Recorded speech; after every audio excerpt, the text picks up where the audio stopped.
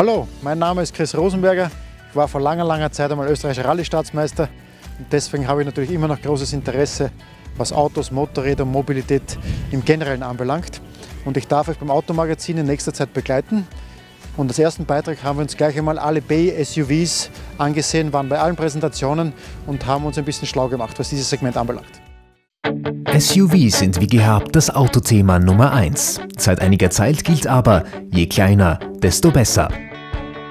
Jetzt kommen vier kompakte Hochsitze fast gleichzeitig auf den Markt. Hyundai Kona, Seat Arona, Skoda Karoq und VW T-Roc. Was sie gut oder auch weniger gut können, fassen wir im folgenden Überblick zusammen. Für ein SUV interessiert sich heutzutage der Großteil der Autokäufer. Fette Geräte sind dabei aber out. Abgesehen vom unschönen Preis gelten sie als wenig umweltfreundlich und als schnöde Ego-Aufbläser. Nein, kompakt und vor allem nicht zu teuer sollen sie sein. Dem trägt die neue Generation der City-SUV im Format von rund 4,20 Metern voll Rechnung. Auch deshalb, weil deren Einstiegsvarianten teils deutlich unter 20.000 Euro zu haben sind. In den Mittelpunkt des Segments möchte sich der Wolfsburger VW-Konzern mit dem neuen T-Roc positionieren. Etwas kleiner als der Tiguan findet er auf einer Länge von 4,23 Metern, einer Breite von 1,81 Meter und einer Höhe von 1,57 Meter Platz.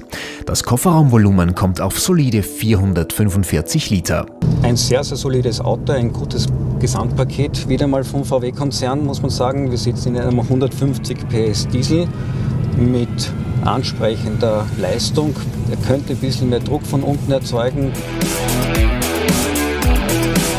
Naja, grundsätzlich ist es ja so, dass SUV sich immer größere Beliebtheit erfreuen.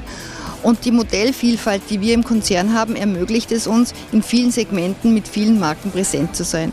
Es ist aber so, dass jede Marke natürlich anders ist und ihre eigene Identität hat und die Modelle anders interpretiert. Das funktioniert auch in anderen Segmenten wie Polo und Ibiza. Und warum soll es jetzt auch im T-Roc nicht funktionieren? Als starke Konkurrenz bringt Skoda nach dem Kodiaq nun den Karoq auf den Markt. Er gestaltet sich mit einer Länge von 4,38 Metern, einer Breite von 1,84 Meter und einer Höhe von 1,60 Meter etwas größer als das Modell der Konzernmutter. Der Skoda Karoq punktet unter unseren Vergleichsmodellen mit dem Platzangebot. Das Kofferraumvolumen kommt hier auf 521 Liter. Was mir sehr angenehm aufgefallen ist, Materialauswahl, Verarbeitung was mir sehr gut gefallen hat, ist die Lenkung zum Beispiel. Äh, ist in der Klasse nicht unbedingt so üblich, dass es so eine präzise Lenkung gibt. Sie ist aber trotzdem weder nervös noch sonst irgendetwas. Auch der Fahrwerkskomfort ist sehr okay. Ich meine, für mich könnte es ein bisschen sportlicher sein, aber man muss immer denken, dass das ein Familienauto sein soll. Wir wollten äh, SUV auf den Markt bringen, die hat alle die, die äh, gute Eigenschaften von, von Skoda Autos. Also das Auto hat äh, spezifisches, typisches Skoda-Design, typisches Skoda-Design und hat die alle gute Eigenschaften von, von unseren Autos, wie ist Geräumigkeit, die Alltagstauglichkeit. Ebenfalls ein hoffnungsträchtiger B-SUV soll der Seat Arona für den spanischen Hersteller sein. Er glänzt etwas kleiner auf einer Länge von 4,13 Metern, einer Breite von 1,78 Meter und einer Höhe von 1,55 Meter. Sowohl der Preis als auch der Platz im Kofferraum ist mit 400 Litern etwas niedriger angesiedelt. Arona arriva sicuramente in un momento particolare per eh, i piccoli crossover, è un ottimo compromesso soprattutto per ciò che riguarda tecnologia, funzionalità, comfort è sicuramente una cosa che non può mancare in una Seat doti dinamiche. Gut, der Arona ist ein typischer Seat. Ähm, das Design hervorragend, ist äh, klassisch Seat, die LED-Scheinwerfer, Tagverlicht, das erkennt man sofort als Seat. Ähm, kompakte Außenmaße und ein sehr großes äh, Innenraumangebot ähm, sind ein weiteres äh, Asset natürlich. Der südkoreanische Hersteller Hyundai geht mit dem nach einer Gegend in Hawaii benannten Kona ins Rennen. Mit einer Länge von 4,15 Metern, einer Breite von 1,80 Meter und einer Höhe von 1,56 Meter gehört auch er zur Familie der B-SUVs.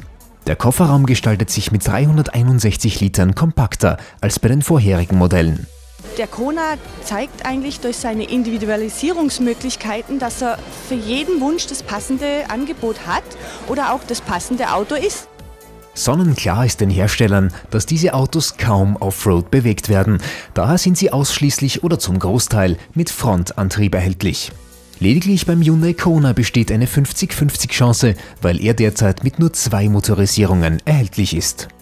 Beim VW T-Rock soll das Einstiegsmodell ab 21.500 Euro erhältlich sein. Mehr Platz für mehr Geld bekommt man bei Skoda. Das Modell Karoq wird ab 25.000 Euro angeboten.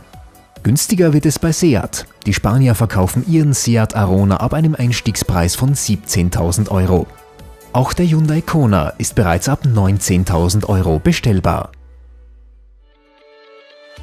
So, jetzt haben wir gesehen, wie umfangreich das B-SUV-Segment da geworden ist in letzter Zeit.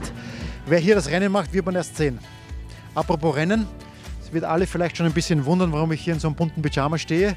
Ich habe die Möglichkeit, beim Austrian Race of Champions hier in Greinbach an den Start zu gehen.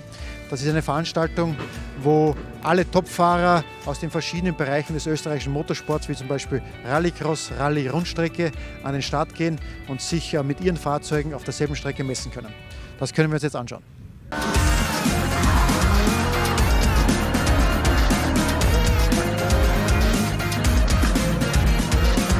Heulende Motoren und quietschende Reifen. Bei der siebten Auflage des Race of Austrian Champions, kurz ROAC, durfte man sich auf ein spannendes Duell der Giganten freuen. Unter den rund 80 Teilnehmerinnen fanden sich bekannte Gesichter wie Gerwald Grössing, Alois Höller und auch unser Moderator Chris Rosenberger. Als besonderes Highlight brachte er zum ersten Mal in Österreich das Ex-Weltmeisterauto von Peter Solberg auf die Straße. Den Fans boten sich acht verschiedene Motorsportkategorien, darunter Rallye, Rallycross, Autocross, Rundstrecke und einige mehr. Unter den Frauen findet sich Brigitte Schmalzl. Sie darf sich über die Teilnahme an einer neuen Kategorie freuen. Ja, die Veranstaltung äh, führen wir zum siebten Mal durch, hat mittlerweile Tradition. Es gibt eine neue Klasse, Rundstrecke historisch und unter anderem das WRC von Chris Rosenberger, Subaru Impreza. Bereits zum zweiten Mal macht Manfred Stohl mit dem ersten Rallye Elektro Peugeot 207 von sich hören. Mit 544 PS wird er sich still und leise in der Klasse Rallye Allrad mit der starken 600 PS Konkurrenz messen.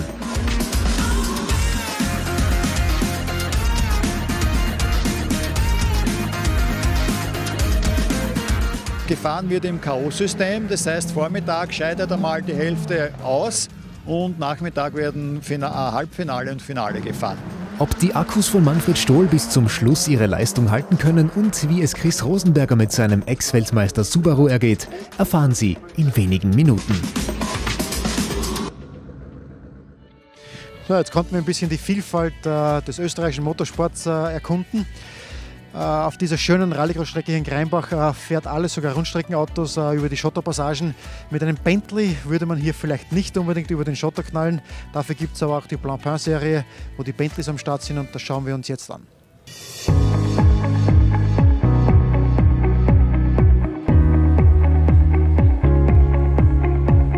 Exklusivität, Performance und Luxus. Die Fahrzeuge von Bentley verkörpern diese Ideale wie kaum eine andere Marke. Auf den Straßen sorgen die Modelle für pures Fahrvergnügen und unendliche Möglichkeiten. Anlass genug, um sich auch in den heiß umkämpften GT-Meisterschaften weltweit mit anderen Premium-Herstellern zu matchen.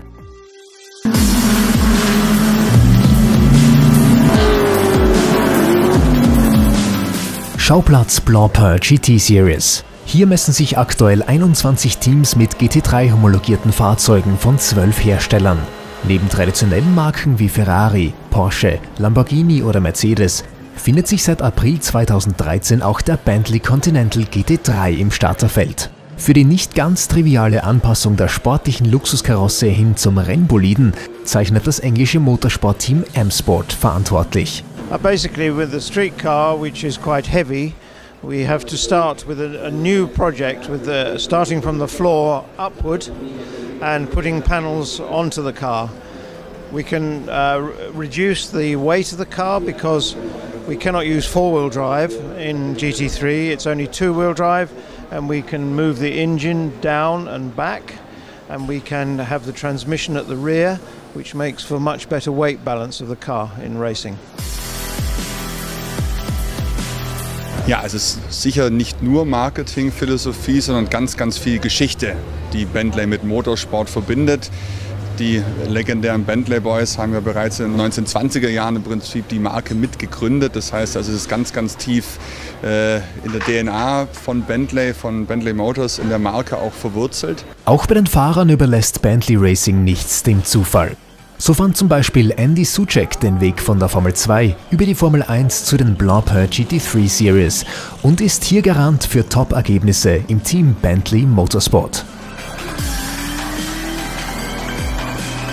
Jetzt gibt es sehr viele und gute Fahrer, gute Teams, gute Autos, viele Marken, die wir fahren und äh, ja, das macht eigentlich Spaß. Die Autos sind sehr unterschiedlich zu einem Formel-Auto. Ich habe meinen Fahrstil ein bisschen ändern müssen, aber im Endeffekt bin ich immer noch äh, dabei und äh, ich war auch in der Formel 1 und jetzt äh, könnte ich vielleicht in 2017 den Titel äh, holen, jetzt in der Blancpain Endurance. Von Bentley begeistert zeigen sich auch bekannte Gesichter wie Peter Peter, Vater von Tourenwagenlegende Philipp Peter und seinerzeitiger Weggefährte von Niki Lauda, Dr. Helmut Marko, Jochen Rindt und Erich Breinsberg. Ganz ohne Stress genießt er heute seine Ausfahrten im Bentley Cabrio. Die Ansprüche dabei sind natürlich ganz klar definiert. Ja, mit der Marke von Bentley bindet mich eigentlich äh, hauptsächlich die Qualität, äh, das wunderschöne Design. Ich habe selber einen Bentley GTC Cabriolet und für mich ist das schönste Auto und das äh, verbindet mich. Ja. Sportlich, elegant und dabei das Siegespodest ständig im Visier. Das Engagement des britischen Premium-Herstellers Bentley in der GT3 lässt in den nächsten Jahren auf hochklassigen GT-Sport hoffen. Ich bin heute hier mit meinem neuen Einsatzgerät. Neu ist relativ, weil das Auto ist doch schon inzwischen fast 15 Jahre alt. Aber es ist was ganz Besonderes und das will ich heute jetzt ein bisschen erklären. Äh, es handelt sich hier auf jeden Fall äh, um ein damals äh, WM-trächtiges Auto. Peter Solberg ist unter anderem mit diesem Auto 2003 in der Weltmeisterschaft unterwegs gewesen, konnte in dem Jahr auch die Weltmeisterschaft für sich gewinnen. Und das zeugt natürlich auch von der Speed, Performance und Zuverlässigkeit von diesem Rallye-Auto die Hauptkomponenten ganz kurz beschrieben. Wir haben einen 2 Liter Turbomotor, Boxer, was in dem Fall fürs Handling sehr, sehr gut ist, weil das Gewicht sehr, sehr tief ist. Äh, leistungsmäßig wird das äh, mit 34 mm Restriktor, der vorgeschrieben war und ist, äh, ungefähr 340, 350 PS haben. Aber noch viel wichtiger ist äh, das Drehmoment auf jeden Fall. Das Auto hat unglaublich viel Drehmoment was das Fahren ein bisschen entspannter macht, weil man nicht immer im hohen Drehzahlbereich unterwegs ist und man kann sich wirklich auf seine Linie konzentrieren, auf die Bremspunkte und auf die Strecke und den Schritt des Beifahrers. Äh, von außen ist ja das Auto relativ seriennah. Wenn man ins Innere schaut, abgesehen vom Motor, sieht man natürlich auch die, die speziellen Einzelheiten. Vom Fahren her ist er zum Glück vom Handling sehr, sehr einfach. Äh, von der Bedienung her wird es aber etwas kompliziert. Wir haben äh, ein Cockpit quasi wie in einer Space Shuttle mit 100 Millionen kleinen Knöpfchen, wo man unabhängig voneinander Differentiale, Getriebe, Motor, von der Leistung, von den Sperrwerten, von den Einstellungen her verstellen kann, was natürlich auch ein Riesenunglück bergen kann. Äh, man kann sich natürlich mit vielen Optionen auch etwas verzetteln im Setup. Displays haben Fahrer und Beifahrer mit allen möglichen Daten, die wir als Fahrer gerne ignorieren. Das heißt, für mich ist nur relevant Schaltdrehzahl. Alles andere äh, ist Sache der Techniker, die sich äh, nach der Sonderprüfung damit beschäftigen, mit einem äh, Readout äh, der Telemetrie. So, ich habe nur mehr ein paar wenige Minuten, bis es hier losgeht. Ich muss mich ein bisschen bereit machen und meine feuerfeste Wäsche richten. Äh, und ich gebe somit weiter an den Meldungsüberblick. Ein erfolgreiches Berufsleben neigt sich für Dorit Heide dem Ende. Nach dem Einstieg 1977 in die Hotelbranche führte sie der Weg 1987 weiter als Marketingassistenz bei Honda. Nach 21 Jahren als Direktorin der Kommunikation bei Renault Österreich wird sie nun von der erfahrenen Managerin Nora Mautner-Markhof abgelöst und in den Ruhestand entlassen die Elektromobilität, äh, autonomes äh, Fahren, äh, was passiert mit dem Diesel. Ganz spannende Dinge gehen da los in der nächsten Zeit und da werde ich bestimmt dranbleiben. Das schon allein aus meiner Neugierde heraus. Ja. Alle Millionäre aufgepasst! Neben dem Luxuswagen in der Garage darf man sich künftig auf eine edle Yacht im Porsche-Design freuen. Laut dem monegassischen Yachtbauer Dynamic soll die GTT 115 Hybrid ab sofort ausgeliefert werden. Auf einer Länge von 115 Fuß, umgerechnet 35 Metern, erwartet die Besitzer Kabinenluxus pur. Um den 911 der Meere handelt es sich hier jedoch nicht. Lediglich das Designbüro, das Ferdinand Porsche einst gründete, zeichnet für die Planung des Luxusliners verantwortlich. Das zehnjährige Jubiläum 2018 nimmt KTM in Graz zum Anlass, den Crossbow künftig mit einem Doppelkupplungsgetriebe von Volkswagen auszustatten. Und das andere ist unser Partner Reiter Engineering, der den äh, KTM Crossbow GT4 als Rennfahrzeug maßgeblich entwickelt hat. Ähm, die sind gerade dabei, dass sie das Fahrzeug mit einer Einzelgenehmigung auch auf die Straße bringen und äh, das werden interessierte Kunden dann äh, bei Reiter Engineering kaufen können. Das Schöne beim äh, Austrian Race of Champions ist, dass es auch eine große Vielfalt äh, an Fahrzeugen gibt, an Fahrern. Aber in dem Fall ist es ganz besonders, weil wir haben hier ein Auto, was wirklich wie ein halbnormales Rallyeauto aussieht, aber es fehlt was ganz Wichtiges vorne, nämlich der Benzinmotor. Es handelt sich nämlich hier um den Hyper MK1 von Stoll Racing, was ein reines Elektrofahrzeug ist und sich hier mit den äh, konventionellen Rallyeautos messen darf. Messen tut natürlich auch gerne Automagazin äh, und das speziell jetzt bei der neuen Referenzstrecke, die man eingerichtet hat, um die Elektroautos besser untereinander vergleichen zu können, wie zum Beispiel jetzt den BMW i3. Seit Jahren sorgen Elektrofahrzeuge mit der sanften Mobilität für frischen Wind in der Automobilbranche. Als Herausforderung stellt sich ein Vergleich der verschiedenen Modelle dar. Die Redaktion des Automagazins hat deshalb auf 93 Kilometern eine Referenzstrecke zwischen dem steirischen Söding und dem Gaberl eingerichtet. Wir haben äh, eine Teststrecke mit äh, einem relativ großen Höhenunterschied. Äh, wir starten bei 370 Höhenmeter und sind jetzt auf 1650 Höhenmeter um das Potenzial des Elektromotors bzw. der Rekuperation wirklich herausstreichen zu können. Heute unterzieht sich der BMW i3 unserer Challenge. Wir konnten den Stromer mit dem 94 Ampere-Stunden Akku-Pack an einem spätherbstlichen Tag bei Außentemperaturen zwischen 6,5 und 12,5 Grad über unseren Testparcours auf seine Performance und Eigenschaften prüfen. Zuerst im Überlandstraßenverkehrsgewühl, dann über kurvige Bergstraßen hinauf aufs steirische Gaberl, weiter zum alten Almhaus und wieder Retour. Wir starteten mit vollem Speicher bei einer Reichweitenanzeige von 237 Kilometern. Im Streckenverlauf zeigte das Display bei den Zwischenmesspunkten durchaus realistische Verbrauchs- bzw. Reichweitenverlustwerte an, sowohl auf Steigungs- als auch auf Gefällepassagen. Die einzige Irritation, nach einem fünfminütigen Zwischenstopp am Wendepunkt zur Retourfahrt verfiel die Restreichweite in der Anzeige von 164 Kilometer auf 83 Kilometer. Auf Anfrage unserer Redaktion bei BMW bekamen wir zu diesem Phänomen jedoch keine Erklärung. Insgesamt konnten wir aber unsere Testfahrt positiv bilanzieren. Im Vergleich zur zurückgelegten Fahrstrecke zeigte das Display um 6 Verbrauchskilometer weniger an, als tatsächlich gefahren. Im Vergleich zu den bisherigen Fahrzeugen, dem VW e-Golf und dem Hyundai Ioniq EV, startete BMW i3 mit 237 Kilometern mit der geringsten Reichweite. Nachdem alle drei Testfahrzeuge in etwa 93 Kilometer zurückgelegt haben, ist es Zeit, Bilanz zu ziehen. Das Elektrofahrzeug aus Bayern zieht ein Plus von 6,1 Kilometern mit sich, gefolgt vom VW e-Golf mit 5 Kilometern und zu guter Letzt dem Hyundai Ioniq mit 4,5 Kilometern. Durchschnittlicher Verbrauch 13,8 Kilowattstunden und das bei guter Performance im charakteristischen i3-Design. Der Bayern-Stromer konnte überzeugen.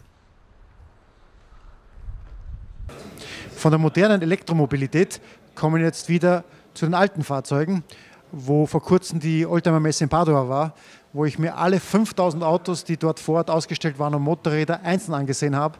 Und nach den 5000 Autos habe ich dann eine alte Vespa mit nach Hause genommen.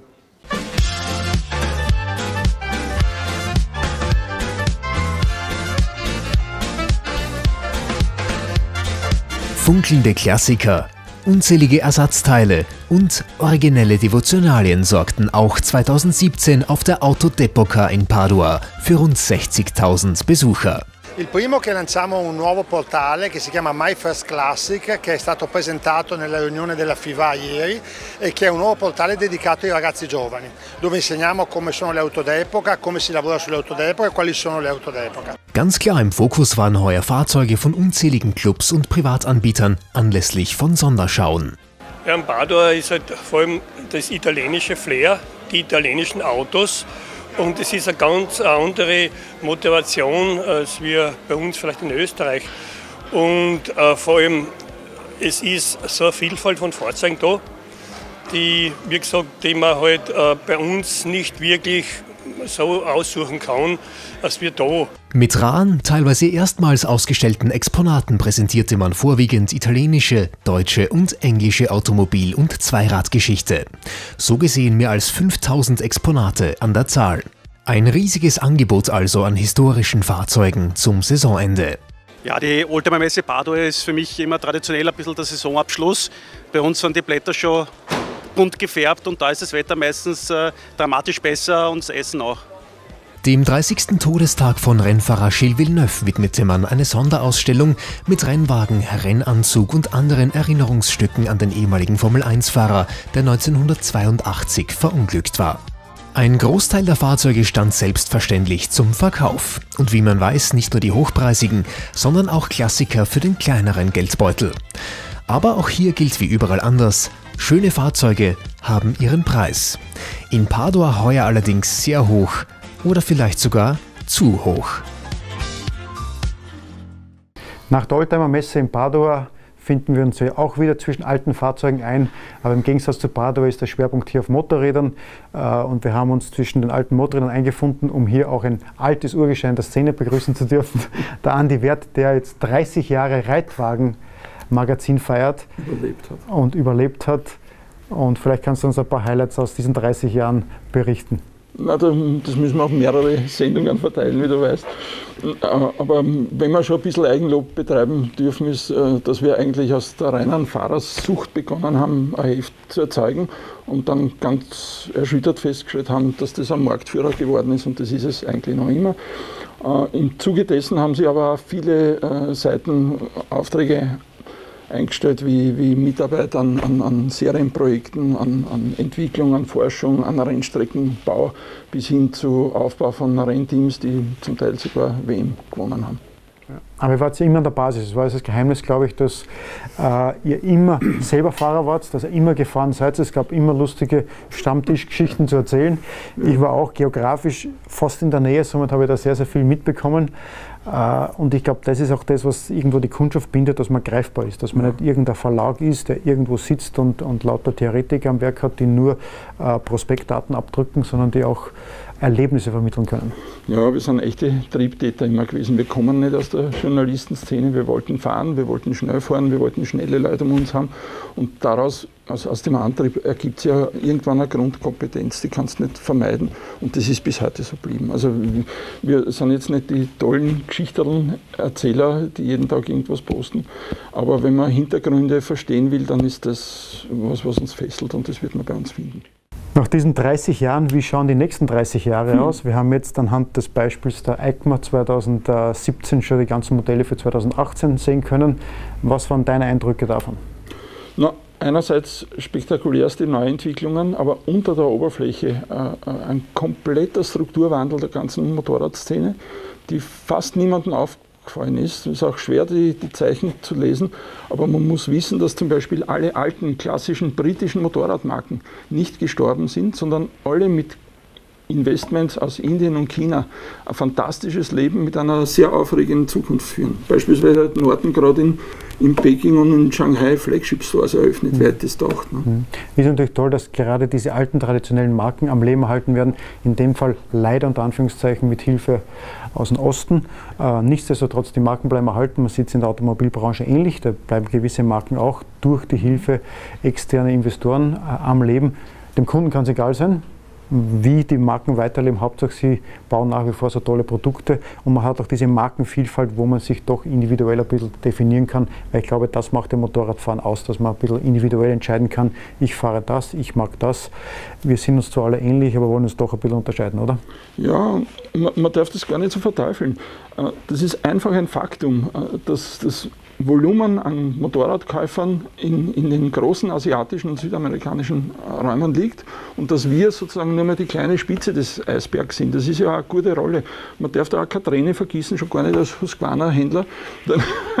Erstens ist die Marke gerettet, aufgefangen und zu einem riesigen Welterfolg gemacht worden, der hochinteressant ist, der sogar Wortlaut Stefan Pierer, Stefan Pierer selber ein bisschen überfordert, das hätte er nie geglaubt in dem Ausmaß.